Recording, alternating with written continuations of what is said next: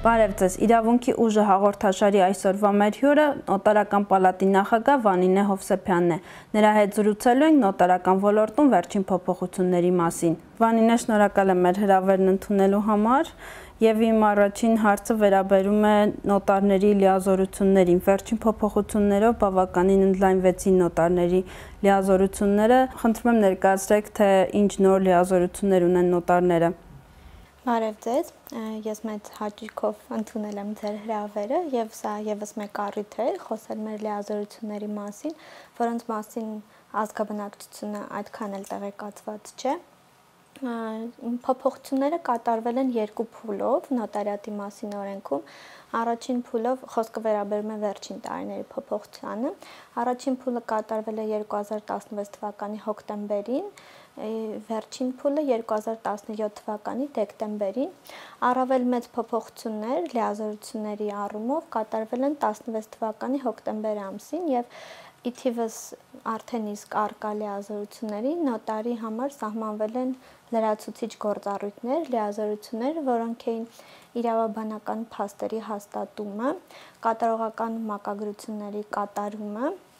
թանկարժեք քարեր, մետաղներ, դեպոզիտ ընդունելու լիազորությունը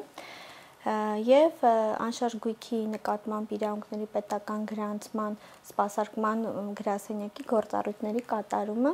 նման գործառույթ նաեւ նոտարը կարող է կատարել իրավաբանական անձանց պետական ռեգիստրի հետ կապված իսկ 2017 թվականին լրացվեցին այդ փոփոխությունները եւ նոտարը կարող է նաեւ պայմանագրերը վավերացնել էլեկտրոնային եղանակով, եթե նրան ուղարկվել է էլեկտրոնային եղանակով պայմանագիր, որը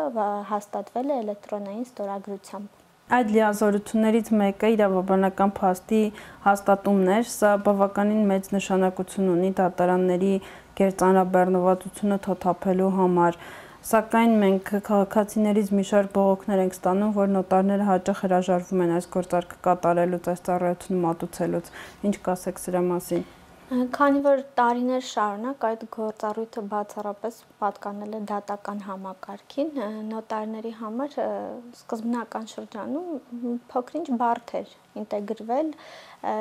իրականացնել այդ լիազորությունները, քանի որ դեռևս անհասկանալի էր այն ապացույցների շրջանակը, որը նոտարը պետք է պահանջի, այն փաստաթղթերի շրջանակը, որոնք անհրաժեշտ են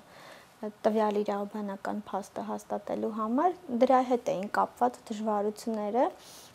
ցանկացած նորի մարդ ավելի դժվարությամբ է գնում սակայն գնալով արդեն բողոքները կարծում եմ փչանում են իմ գոլեգաները հաստատում են իրավաբանական նշանակություն ունեցող փաստեր եւ կարելի է օգտվել նաև օրենքի հնարավորությունից եւ եթե նոտարը կոնկրետ մերժում է գործողության կատարումը, նա պարտավոր է մերժման, կասեցման կամ հետաձգման որոշում կայացնել եւ այդ պահանջով պետք է դիմել նոտարին եւ հաշվի առնելով որ մեր մատուցած ծառայությունները վճարովի են եւ հիմնական նոտարը աշխատում է նրա եկամուտի աղբյուրը ծառայությունները վճարելու կատարելու դիմաց ստացված եկամուտն է ելնելով այդ տրամաբանությունից կարելի է ասել որ հիմնականում նոտարները հաստատում են իրավաբանական նշանակության փաստեր, այսինքն ոչ թե հիմնականում, այլ դա իրենց պարտականություններից մեկն է, որը նրանց նաև օգուտ է բերում եւ այդ խնդիրները գնալով վերանում են։ Ձեր խոսքում նշեցիք, որ արդեն իսկ ներդրվել է էլեկտրոնային նոտարի համակարգը։ Խնդրում եմ հակիրճ ներկայացրեք այդ համակարգի բնույթը։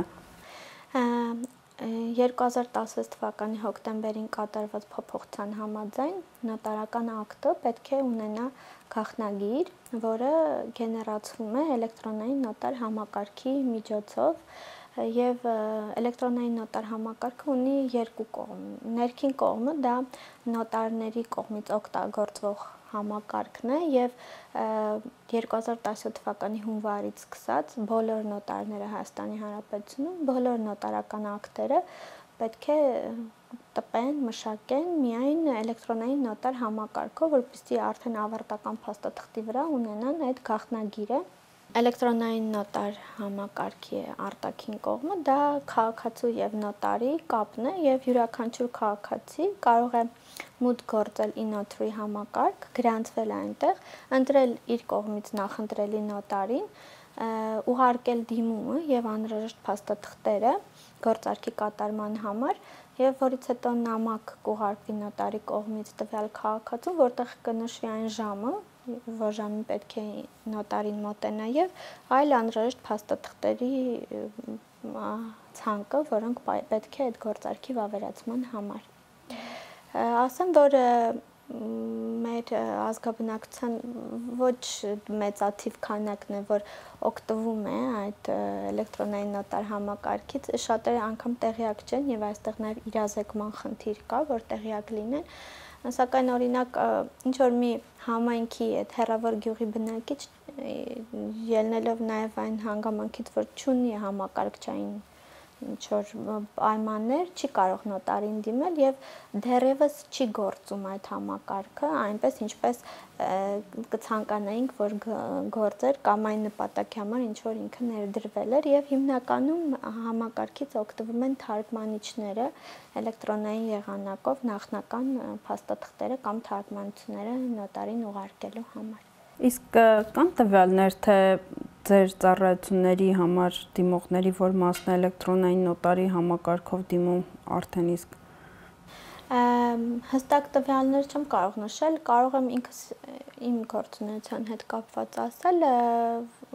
վերջին 2 տարվա ընթացքում ընդամենը 1 էլեկտրոնային դիմում եմ ստացել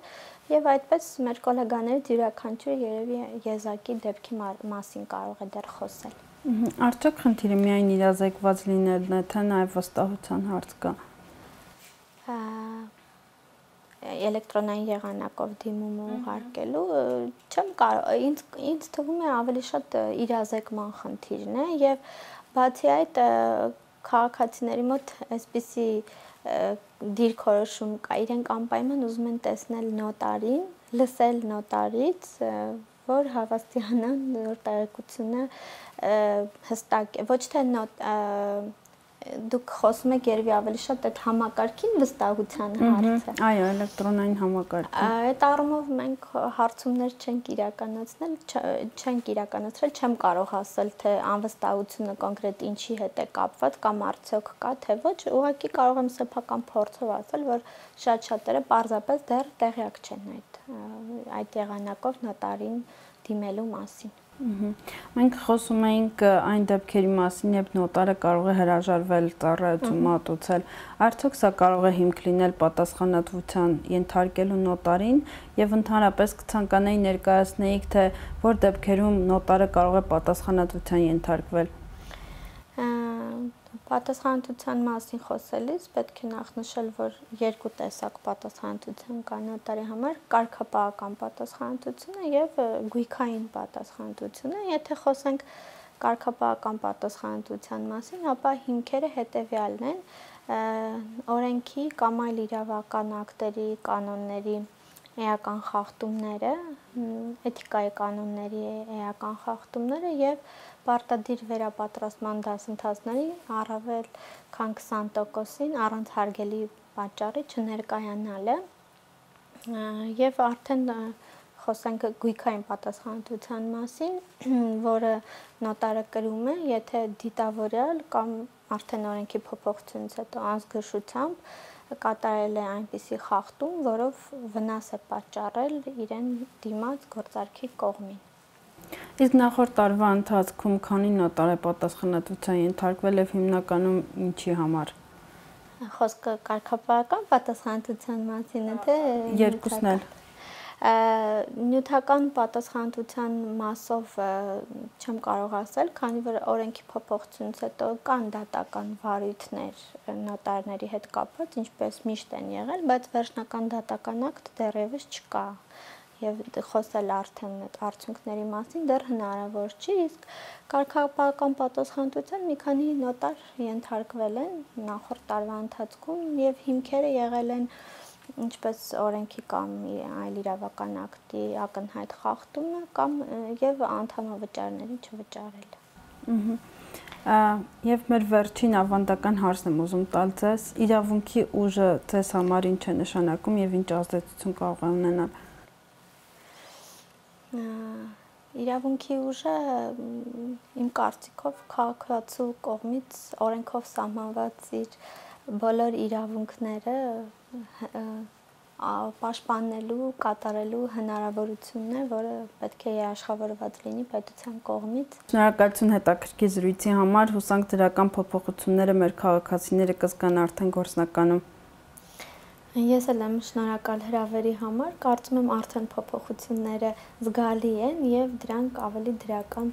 առաջընթաց կունենան։ Հիշեցնեմ, որ մեր հյուրը նոտարական պալատի նախագահ նոտար Վանինե Հովսեփյանն էր։ Հետևեք իրավաբաննեթին։